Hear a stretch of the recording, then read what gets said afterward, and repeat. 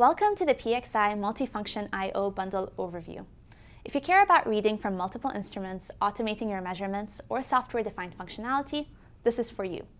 We're going to walk through what comes in the box when you order this bundle, and then we'll, take, we'll see what it looks like taking your first measurement with the no-code data acquisition software FlexLogger. This bundle is based on a 5-slot PXIe 1083 chassis, which you can connect to and control from your laptop through a Thunderbolt cable, which is also included. The bundle also includes a PXI multifunction I.O. module, and depending on what model number you select, it could have up to 80 analog input channels, up to 4 analog output channels, and up to 48 bidirectional digital channels, and up to 2 megasample per second sample rate. That's a lot of channels on one card. With this bundle, you get a high-performance multifunction I.O. module in a PXI chassis, but you also get four empty slots to later introduce other instruments like scopes, DMMs, signal generators, or more.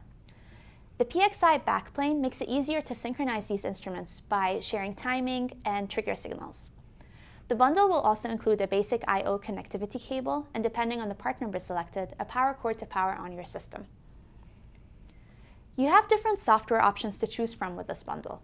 You can skip programming and interactive, interactively configure and record your measurements with FlexLogger.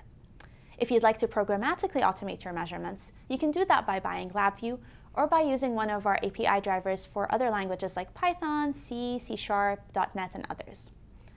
Alternatively, program or don't based on your task with a test workflow bundle. The test workflow bundle includes LabVIEW, FlexLogger, and other software that can help you build automated test systems, build web applications to access your test remotely, as well as visualize and analyze your data interactively. Let's take a quick look at how you can interactively take measurements with FlexLogger. Okay, so now I have FlexLogger open on my screen and I have a simulated multifunction I.O. module, so I'm not actually connected to anything. But here from the channel specification tab, you can see all of the channels that you can configure, a lot I know. Uh, so let's, let's try a few. Let's start with an analog input channel. I'm going to take AI0. You just double click. I'm going to configure it as a basic voltage analog input channel. And voila, we're already seeing the measurements on this channel happening, uh, albeit on a small screen, but this is just configuration. Let's do the same with analog output. Let's go down. Let's take AO0, double click, and let's set the value at, let's say 7 volts, why not? And now you've configured it, it's an output voltage channel that is already set at 7 volts. Let's do something similar with digital. Uh, before I configure each line, I'm going to set the line direction. Um, I'm going to set, have them all as inputs and let's keep channel line 2 as output. Okay. So let's start with line 1, let's say. Let's configure that. That's an input again. So it's a digital input. Here we go. It's receiving the signal. And let's do line 2. I just mentioned we changed into an output. And we can select the value of, let's say, high. Okay, so we've configured analog input, analog output, digital input, and digital output. You see them configured here. You can even see the values.